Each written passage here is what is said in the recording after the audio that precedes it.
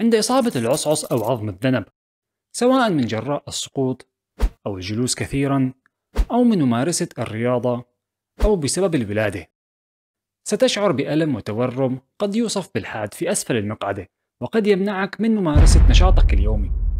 في هذه الحلقة حنتعلم تمارين مجربة ومضمونة مصممة بشكل خاص لعلاج ألم العصعص وبسرعة بإذن الله تعالى.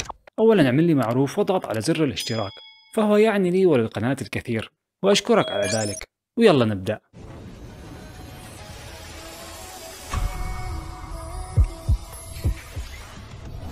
ألم العصعص؟ الحالة المعروفة باسم كوكسيدينيا. ينتج هذا الألم من أحد الأسباب التالية إما الإصابة المباشرة لأسفل المقعدة مثل السقوط أو بسبب زيادة الوزن أو النحافة الشديدة أو من الضغط المتكرر على المقعدة أثناء ممارسة الأنشطة اليومية. مثل الجلوس والقيادة أو الأنشطة الرياضية مثل ركوب الدراجة أو الخيل إلى آخره. سبب الألم هنا هو الاحتكاك مع أن العصعص عظم ثابت إلا أنه محاط بالكثير من العضلات والأربطة. ويشكل أيضا منشأ لارتباط بعض عضلات قاع الحوض. احتكاك الأنسجة الرخوة بالعظم والضغط المستمر على العضلات والأربطة والأعصاب يؤدي إلى الشعور بالألم. يجب علاج الحالة بأسرع وقت فقد تتفاقم المشكلة وتسبب أعراض أكثر حدة مثل الوخز أو الخدر أو الضعف في الساقين أو مشاكل في الأمعاء أو المثانة. التمارين التالية تمارين علاجية مصممة بعناية لعلاج ألم العصعص ومضاعفاته مهما كان سبب الألم. إذا صعب عليك أداء أي تمرين في البداية فلا تقلق ولا تستسلم فهذا لا يعني أنك فشلت. فسر نجاح أي شيء هو استمرار المحاولة. ابدأ بعمل ما تستطيع فعله ومع الوقت سوف تتقدم وتتقن التمرين وتحصل على النتائج المرغوبة. التمرين الأول كاتن كامل. تمرين الجمل والقطة. تمرين ممتاز لتحريك وإطالة عضلات الحوض. وضعية التمرين. نركع على الركب واليدين بحيث يكون الحوض والأكتاف بزاوية قائمة. للقيام بالتمرين. نبدأ بوضعية القطة. احني ظهرك نحو الأرض وارفع رأسك للأعلى بنفس الوقت. ليخرج عظم الذنب ونحصل على منحنى بهذا الشكل. وعد ثلاثة عدات. من هنا نعكس لوضعية الجمل. احني الظهر للأعلى وأنزل الرأس للأسفل. وينزل معه عظم الذنب.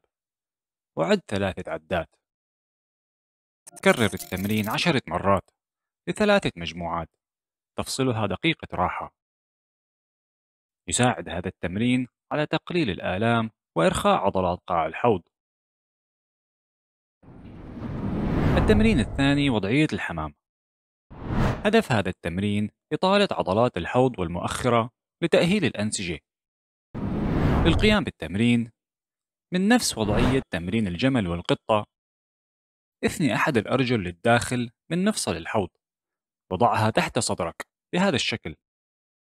الآن مد رجلك من الخلف وانحني بجذعك للأمام حتى يصل الصدر للركبة. بهذه الطريقة. ستشعر بشد مريح في أسفل المقعدة. استمر بهذه الوضعية لمدة دقيقة كاملة.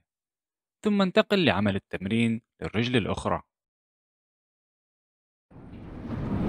التمرين الثالث القرفصاء. لإطالة عضلات قاع الحوض. إطالة العضلات يساعد في تبادل السوائل وتأهيل الأنسجة. القيام بالتمرين بغاية البساطة. باعد القدمين وانزل بوضعية القرفصاء. بهذه الطريقة. ستشعر بشد مريح في أسفل المقعدة استمر بهذه الوضعية لمدة دقيقة كاملة. وبإمكانك تكرار التمرين في أي وقت تشعر فيه بالألم. التمرين الرابع الجسر المرتفع. لتقوية عضلات قاع الحوض. وضعية التمرين. استلقي على الظهر وارفع الأرجل على كرسي أو جدار بهذا الشكل. للقيام بالتمرين. قم بشد عضلات الحوض والمؤخرة بهذه الطريقة. حتى يرتفع الحوض للأعلى قدر الإمكان. ثم عد لنقطة البداية. بهذا الشكل. وكرر التمرين عشرة مرات لثلاثة مجموعات متتالية. تفصلها دقيقة راحة. وهذا كل شيء داوم على ممارسة هذه التمارين مرة في اليوم لمدة أسبوعين على الأقل. وسوف أضمن لك التخلص من ألم العصعص بإذن الله تعالى. وفي الختام لا تنسى تشاركنا تجربتك مع التمارين في التعليقات. وأسأل الله لنا ولكم دوام الصحة والعافية.